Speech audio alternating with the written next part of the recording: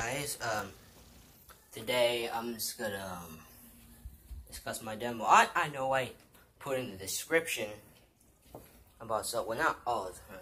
I guess a little some sometimes I guess.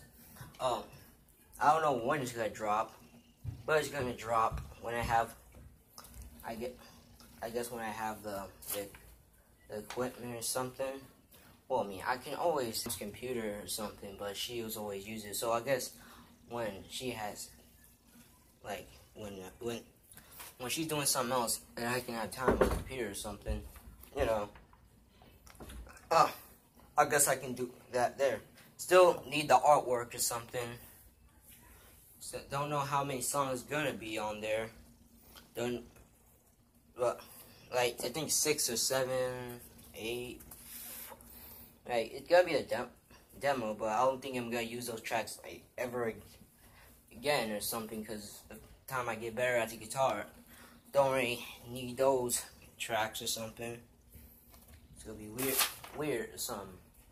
But I think I want to drop it probably 2020 or something. Yeah, 2020 or something. I guess kind of a good year to, to drop it or something. Um, basically just me on guitar. Um, I'm the vocalist. Don't have drums, but I got something that, that can probably sound like drums or something.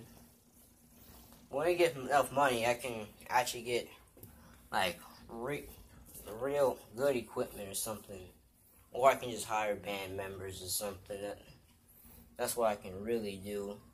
Just hire band members. But, but, but yeah, um, I'm out. Might be a trash video, but it is what it is.